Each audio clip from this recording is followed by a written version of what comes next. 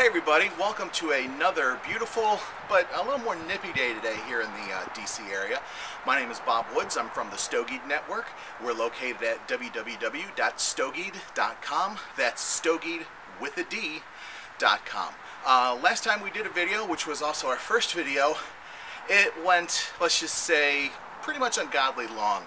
Depending on where you saw it at, it was either about uh, 12, 13 minutes or 18 minutes in length, which in internet time is about the equivalent of an entire series of, or season as we'd say here in the US, of uh, Masterpiece Theater.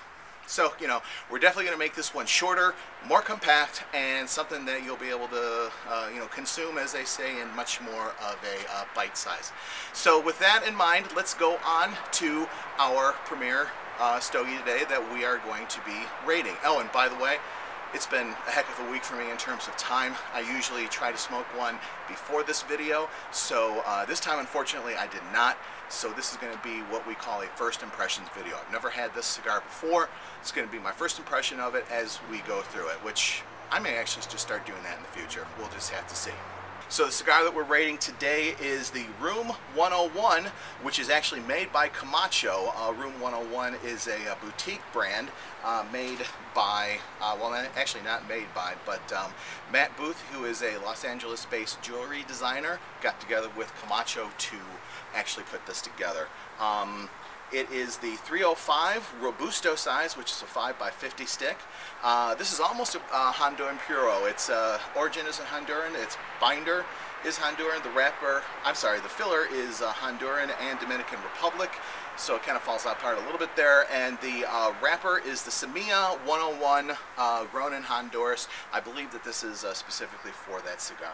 I paid uh, eight bucks for it, and I ran up to my uh, good old standby, a good cigar shop and cigar chain here in the DC, in the Maryland suburbs of the District of Columbia, Davidoff in Olney, Maryland. In terms of rating all of our cigars, we use the Stogied Cigar Rating Tracker. This is just a system that makes us and makes it easier for us to keep track of things here. If you want to uh, keep track along with us uh, while you are enjoying this cigar, or if you just want to use this tracker for your own cigar, you can go to the Stogied site and download it. Uh, the information on how to do that is right on your screen. All right, we're ready to go. Um, as you can see, literally just bought this thing yesterday. It's still in the wrapper. So if there's any kind of, uh, I'm not going to knock it down for anything that might be related to humidification, although they do a great job at Davidoff of, uh, of, hum of, humidifying their cigars. So with that in mind, we're going to uh, go to the first category, which is aesthetics. Um, this is a, uh, it's a, it's dark, not dark, it's like a medium dark. Uh, I do like the font style in the Room 101 uh, band and you can see that it's also made by Camacho. Uh, a little veiny, just slightly toothy, and uh, it's uh, I'll give this a 4.5 and construction is very well made, which of course you'd expect from a Camacho cigar. Now, construction-wise, um, very solid. Uh, 50. Boy, it seems a little small for 50, but I'm going to trust them that, that it is 50. Uh, it's a little veiny, not too much so, not objectionably so, and uh, very, very solid. we give them a 4.5 on that as well. Now it's time for the pre-burn, which is when we clip off the cap. I found my uh, trusty Xikar cutter earlier this week, so I'm going to be using that. Get the cap. Lost the cap. There's the cap. Uh, need a couple shavings, so I'm just going to open this up just a little bit more. Like so going to collect all those together, do a quick pre-burn on it.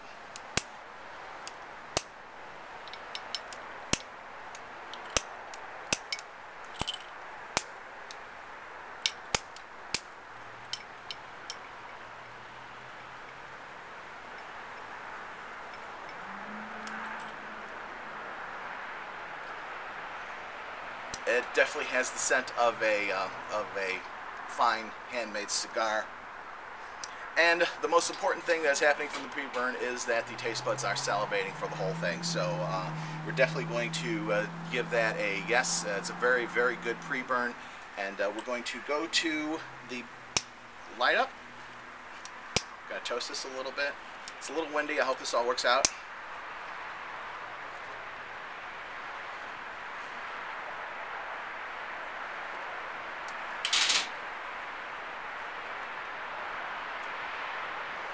I've heard conflicting, uh, conflicting reports that this is a medium or medium full cigar. I'd say just right at the start, I'd definitely call it a medium cigar. Uh, definitely has some, uh, definitely has a little bit of a pepper note to it. Um, want to say a flint, a uh, bit of flint there, but not, but not too much. I'm not a real flinty kind of cigar guy. And overall, uh, at the start here, it's pretty good. I'd give it um, probably a 4.2 in terms of that and I'm forgetting to write these down, which is dangerous, as we discovered with the first video, so... 4.2. So while we while we let this go here, oh, that's good. Uh, also going to talk real quick about beers here. Um, as as it is around most of the country here in the DC area, it's definitely getting cooler, which means that uh, in terms of cigars, definitely going to be probably doing more of the uh, Robustos, because if you're like me, you smoke outside, and when it gets cold outside, you want to have a good flavorful cigar, but yet you don't want to spend a lot of time out there. So uh, Robusto cigars, and we're also going to start focusing a little more on some of the craft beers out there that focus on the winter flavors. So with that in mind, this week I decided to get something that's a little more nationally known and uh, nationally available, the Sam Adams Winter Lager. Um, I've never had this one before either, so this is going to be very interesting. It's described at the site, if memory serves, as uh, it, it's kind of um, uh, floral, it's got a bit of cinnamon and um, definitely some winter and holiday spices in there too. So if you've had winter beers or even if you've uh, if you've had like um, winter or holiday slash Christmas themed coffee before, you kind of know what I mean by that, by the whole um, winter slash holiday spice thing. So let's give this a little tasty.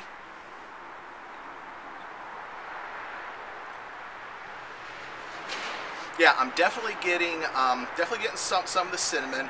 Um, Oh, I forgot about the ginger. It says ginger on the bottle there. There actually is a bit of ginger in here. I'm definitely getting that. that that's that's definitely going to both enhance the taste, I think, of this cigar in particular, and also just just kind of cut cut it through a little bit on, on the palate so that each time you have another puff, it's going to be, you know, almost like you've had it for the first time.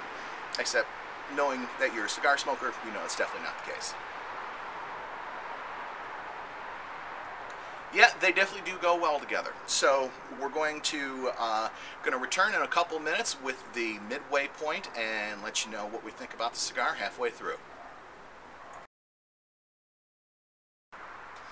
Okay, we're back for the flavor midsection, but before we get to that, um, while I was out tossing the ball with my dog, which is what I normally do in between these takes, or I'm, you know, I've got a book loaded on the Kindle that I'm reading, or you know, something like that, basically.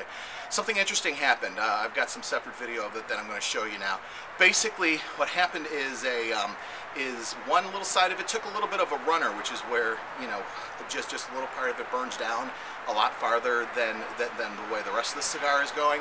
That to me uh, is definitely a little bit of a concern in terms of the construction uh, category, which we rated before. And also, even after that, it took it took several um, lights of the wrapper to, to kind of make it uh, burn a little more evenly. That's something that I've also noticed uh, on a couple of other blogs that, that I've read in terms of uh, rating this particular cigar and also just a couple of the other sizes in general. So that tells me that there's definitely a little bit of a construction problem here. So uh, I'm going to take back that 4.5 and um, you know, normally I would give it a 4.25, but, um, you know, I want to keep this simple. I, I only want to drop this down into the tenths of decimals rather than go out to the hundreds and the thousands. Even though uh, in, in my normal regular job, I actually have to deal with uh, prices sometimes that are in the uh, thousands and even tens of thousands um, decimal points for a penny. So, um, you know, I can get a little detail obsessive, but just for this, we're going to uh, I want to rate it a 4.25, but I'm going to round it up to a 4.3 in terms of construction. It is starting to even out a little bit though, so uh, with that, let's just go into the uh, flavor dash mid section. Uh, and uh, once again, you can tell we're just about the midsection because we have the WWE style um, style ring here. It's you know nice, big and thick. I don't knock it, I just make a joke of it. I actually like it. This one's especially sharp. And of course, what I call the chastity belt here. It's about at the midway point, uh, so we are at the midway point. And in terms of the flavor, uh, some of the, um, a lot of the pepper is now gone. It's actually developed just a little bit of a creamy taste. Um, it's not I can't really put my finger on it. It's just it's not quite as good as it was at the beginning. So for that, I'm also going to give it a, uh, a four point, not also, just a 4.0 for the mid section. Um, and we're also going to do one of these. Actually, the beer is starting to overpower the cigar just a little bit, which um, which I blame more on the cigar than the beer, basically. And uh, you know, it's just the way it is. It's still a very good combination. I, I wouldn't um, I wouldn't necessarily say don't combine them. This is you know obviously a review. It's not uh, just a bunch of guys sitting around and watching the game or whatever. In that situation, you'd be more than fine. So that's it for the uh, midsection of the flavor, and we're going to be at the end section here in a couple minutes. Uh, time to go and throw the ball with the dog more. Be back soon. We've just about finished up the cigar here, so it's time for the end point uh, in terms of the flavor section. Uh, still having some of the burn problems. That's it's a little disappointing. Uh, I'm not going to change the construction score because it's still pretty accurate, but if you're looking for just that perfectly constructed cigar and you're not thinking about anything else, you may not want to consider this. However, you know, as you'll see at the very end uh, here, basically it all comes out okay in the end. So that's all you need to know about that try it yourself and you'll definitely see. But just in terms of the specific flavors that are coming, uh, it's definitely getting more towards that uh, medium full again. Uh, some of the spice and the pepper are coming back. And uh, it's turning out to be a, uh, a, a, good cigar. Kind of, you know, it, it had it in the beginning, kind of lost it a little bit in the middle, and then it came back in the end. So just for the end part, I'm going to give it a 4.3. Going to dutifully record that in the tracker. And with everything then said and done, it's going to come out to an average of 4.26. We're going to round that up to a 4.3 for the overall rating. And uh, it definitely is a finger burner. Uh, the um, It's not getting over powerful, so we are definitely going to smoke this down until we burn our fingers on it. So uh, when it comes down to ratings plus price, uh, for the thumbs up or down section. A 4.3 plus a price point, you know, of around of right around eight bucks. I've seen it a little cheaper online. If you want to go that route, it's definitely going to be a thumbs up. This is not going to uh, disappoint by any means, and uh, I would definitely smoke it again. I have no problem in uh, giving away the cigars in our uh, in our giveaway, which I'm going to talk about in just a second. So definitely the Room 101 by Camacho, the 305 Robusto size, which is uh, which is 5 by uh, 50 ring gauge, 5 inches by 50 ring gauge. It's definitely one that I would recommend to anyone. There's two things that you need to do primarily for the contest. One is you need to follow Bob at Stogied and Stogied Web on Twitter. The other thing that you're going to need to do is tweet out a particular um, message that, uh, via your Twitter account that is going to be at the page for, uh, for this review at www.stogied.com slash room 101 review. Um, each time you do that, you will be you'll have one entry into the sweepstakes. I would recommend that you don't do it too often because, you know, like I say in, in the review itself, I don't want people losing Twitter followers over this, but at the same time, um, you know, a little bit of promotion definitely helps uh, the Stogie network grow. So that is it in terms of the uh, in terms of this review. Again, I'm Bob Woods from the Stogie Network.